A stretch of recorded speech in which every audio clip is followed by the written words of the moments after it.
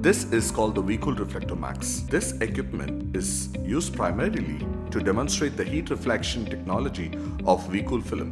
The IR lamp is a simulation of the sun's heat. The heat digitizer is a device used to measure the amount of solar energy emitted by the heat source. The heat digitizer is calibrated in IR watts per meter square. The bulb is called the radiometer.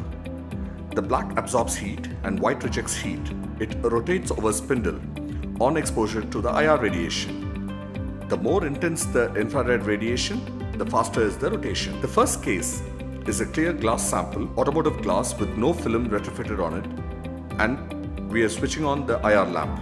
On exposure to the heat, the digitizer shows a reading on the inside and there is a reading on the outside, which means that the clear glass is not rejecting much heat. We replace the clear glass with the V-KOOL film retrofitted on it.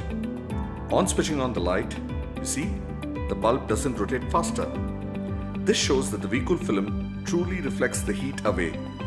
Besides retaining the glass clear, the figure displayed on the heat digitizer is higher on the outside, whereas it is lower on the inside. This demonstration shows that the V-KOOL film is engineered to reflect the maximum heat away. The film allows only less than 6% of the infrared to transmit through the glass. Thereby, it helps in achieving a cooler car cabin temperature.